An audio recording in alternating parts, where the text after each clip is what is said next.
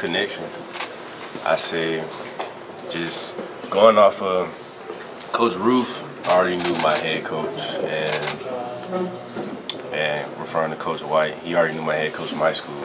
So the kind of connection was already there. So once I hit the portal, they was already on it and stuff like that. Um, and then it was just like so much enthusiasm to just get me here, and a lot of the stuff wasn't even about football. So, and that was really one of my like my main things. Like after, of course, you know, you don't play football for the rest of your life. So, and I think that was one of the most important things to me that would make me want to choose OU because it's like life after football is then what? Can you come back to these coaches? Can you come back to the facility and still feel welcome home and stuff like that? So I felt like it was a no-brainer. And of course, we had Oklahoma.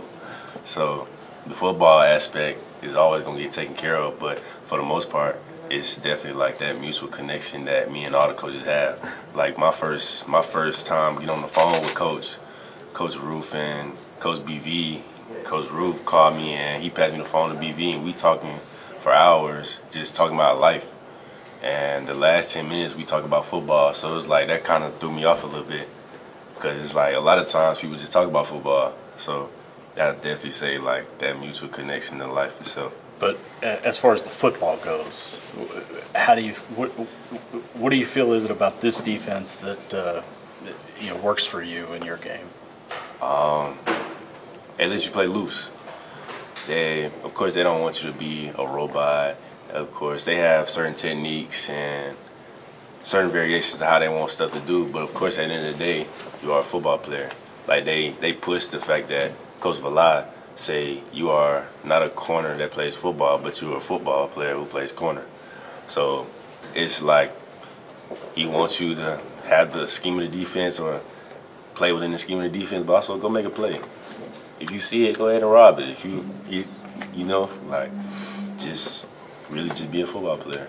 And I feel like you can definitely, I feel like I'll definitely be able to do that here. I done made several plays and stuff like that, and that's definitely great coaching, great calls and stuff like that, according to Coach Roof. And yeah, for for the most part, it's really just being a football player. Can I, how anxious are you just to get on the field? I know you had limited opportunities at your last place, just to play and contribute more. How excited are you for that opportunity? I'm hungry.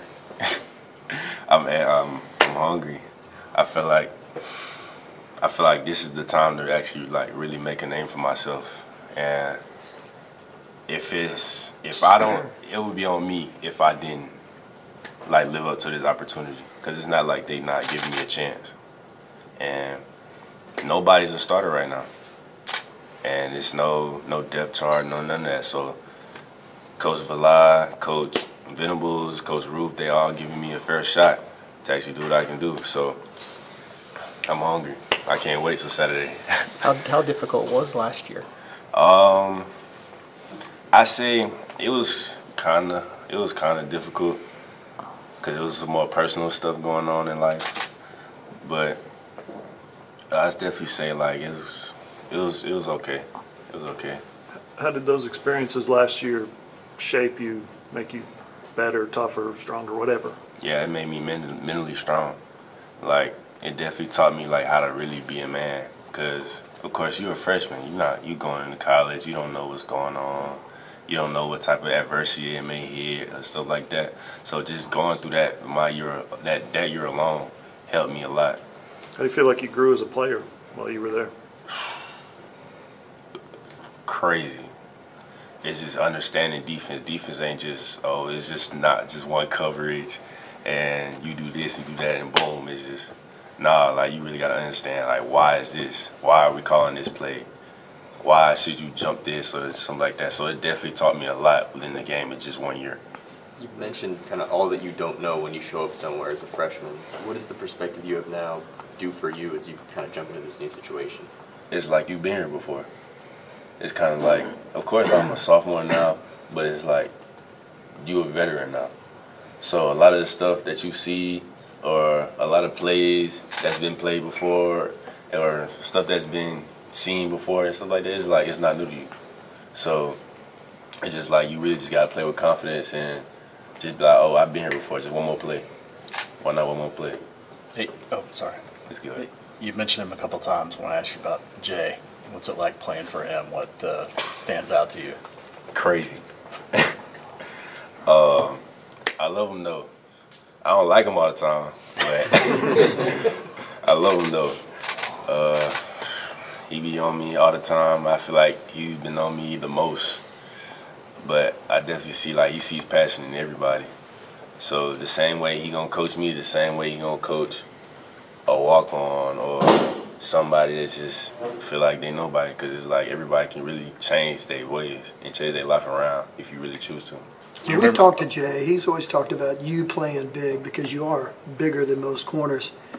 Uh, talk about that a little bit, your style of play, and when he gives you that, you know, that saying, "Hey, play big, play up your size," you know, how does that make you do that? Help you do Um, that. You just say like play with grit. Of course, my last year, I honestly say I wasn't playing with the same grit I had this year. So when he say like play big, it- it's just like just kill everybody in front of you. I mean, I am I'm six two and two hundred pounds. Why not use all of it to my advantage? Right.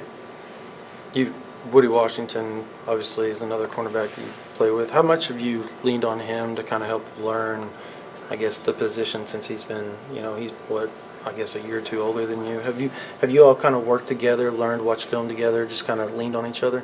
Yeah, me and Woody is me and Woody tight like like this. So my first day here, me and him caught a strong connection because it's like it's not. Of course, you will know that I'm coming for a position and stuff like that, but it's like we all here to work. So the same way you're gonna help me, the same way I'm gonna help you. So I definitely leaned on Woody a lot. And going back to Jay and that energy level that he projects, is there a, a, a moment or a, a time that you can think back of when you realized, hey, this guy's maybe a little wired a little bit differently? Um, first day of spring ball. um, that kind of was calm before spring ball, but as soon as I seen somebody do something wrong, he snapped. I was like, oh my god. But yeah, he's a little wired. I, I'm going to a word, a little wired. Kind of in a similar vein, there's the coach Venables that you spoke to on the phone. Was there a moment when you got here, whether it's this spring or maybe in kind of the winter workouts, where you realized who your, who your new coach was? Yeah. Um. At first, I was like, "Yeah, is my coach, Coach Venables." But it's like once he actually start talking about the game and start, it's like, whoa. Like he'll literally break everything down to a T and be like, "Why is this? Why is that?" Or he'll literally, or we be in scout, and he'll tell you what you're doing wrong from the other side, looking this way. So it's like, you gotta listen to him. Like you really got to pay attention because he's trying to put you in the best position to make plays. You talked about Coach Roof and the relationship that you guys have. You're from Georgia. Um, what, being that you're from that state, have you seen kind of, uh, and, and coming up to Oklahoma, have you seen uh, with the SEC move and all that, is there more of a buzz in that state for the Sooners down there than there used to be? Yeah, now that I definitely say it's been definitely like a huge buzz because we trying to get my dog Kalen Lee from Georgia. So I definitely say yeah, it's been a buzz because we got to get them guys from the south. You mentioned there's no depth chart. Can you talk about just the rapport in that cornerbacks room, how you guys are competing but learning together? And I wanted to ask you about DJ Graham's interception last year. Do you remember that pick, seeing that pick that he had? Yeah, I seen it. It was crazy.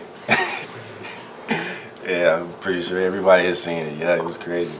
DJ has been working like his tail off. Of course, he's installed. We've been in a new defense and stuff like that, and everybody's learning. But it's like going back to you. There's no animosity behind none of that. It's just we all working.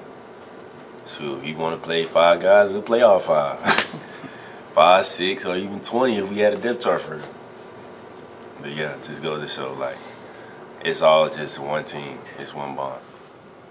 You talked about coming into a situation where no one was sort of the concrete starter yet. Did it help at all with deciding to come here knowing that there's new coaching staff, sort of like a fresh start for you almost? Um, No, not really. Cause I mean, you gotta work to get what you want.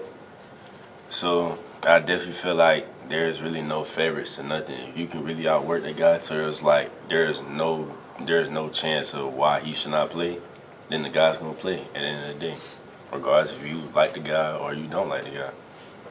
Can you talk about your visit the first time you came to Oklahoma on your official? Oh, and that just kind of what stood out to you, or you know anything that like where you kind of figured, okay, this is kind of where you wanted to be. What stood out to me it was that we didn't take pictures to the last five minutes. So that was like my most important thing to me. Like I didn't really care about the pictures and stuff like that. Like all that's cool. I just like I want to understand like who these people are because I mean this is my second home. This is gonna be my second home for the next, well really for the rest of my life. so I just definitely felt like once I got that home, like that home feeling to where it's like, okay, I can make a phone call to Coach Roof or Valai or anybody on the staff, period, to be like, okay, like I'm going through something. I'm like, let's talk or let's come meet me somewhere. And just stuff like that. So once I got that, because like I said, football is going to always take care of itself if you always handling your business and doing everything the right way. So I was just like, yeah, I got, I got to do it. You talk about Brent and that initial conversation and football being at the very end of it. Uh, What were some of the things, well, one, how important was it to have that, given everything you talked about going through last year? And two, what were some of the things that were said in that that you go, this is maybe a little bit different from the recruiting pitch you're hearing from other places? Um, he talked about a lot of deep stuff. I I couldn't even really like name. I couldn't really name a lot of stuff off the top of my head. Or, once you got here, how much different has it been, the, the structure of things? You know, whether it's the, the soul mission stuff or, or anything else that's sort of player focused. And, you know, Brent's talked a lot about, you know, making sure that that relationship isn't transactional Yeah. between the players and the coaches. Yeah, definitely. I feel like that that soul mission is one really thing that like, I've really been paying attention to a lot because I didn't get that last year. It wasn't still. It wasn't like it wasn't like people didn't care over there, but it's like they wasn't enthusiastic to where they had soul missions and certain activities where you go here and interact with kids. Like we got this Miami service that we going to and we helping kids out and stuff like that. So I definitely feel like that's one of the things that caught my eye because I've never done no stuff like that. So most definitely. You mentioned that. Got to wrap up. Last, last one. Yeah. You mentioned that um, obviously making the move over here is a big life decision, and just in addition to the whole football aspect of things. So, who are some people you had in your corner to help you make that uh, decision? What was that process like? Um, I definitely had, you know, mama always gonna be in the back. as my right hand man. But mama, dad, even my coach, my head coach from high school, behind this decision. Like I said, that that connection with Coach Roof and my head coach, shout out to Coach White, but that helped me definitely make my decision. It was like it was a lot easier, especially knowing with my head coach from high school. It was a lot easier making my decision. Thanks. Appreciate it. Appreciate it, man.